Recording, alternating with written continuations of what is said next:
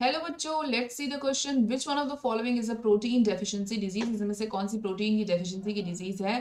Quasi ओरकर night blindness eczema या cirrhosis सो yes kwashiorkor एक protein deficiency disease है, जिसमें प्रोटीन की डेफिशिएंसी यानी कि प्रोटीन की कमी हो जाती है।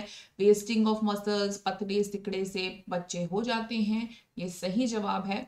नाइट ब्लाइंडनेस में कमी हो जाती है विटामिन ए की। एक्जिमा यानी एक्सेसिव खुजली मच जाती है तो खुजली मच सकती है इम्यून सिस्टम या तो आपका सही से काम नहीं कर रहा तो ये रीज़न हो सकता है एक्जिमा ज़बरदस्त खुजली होती है। And no so this is not due to protein deficiency cirrhosis में बहुत ज़्यादा अल्कोहल जब आप कंज्यूम कर ले रहे हो ना सीवियर uh, जो अल्कोहलिक एडिक्ट्स होते हैं तो उनका लिवर में फाइब्रस टिश्यू की क्लम्पिंग क्लॉटिंग हो जाती है। तो वो लिवर uh, जो है पूरा खराब हो जाता है। So cirrhosis is that it's not a protein deficiency ज़्यादा अल्कोहल पीने से होता है।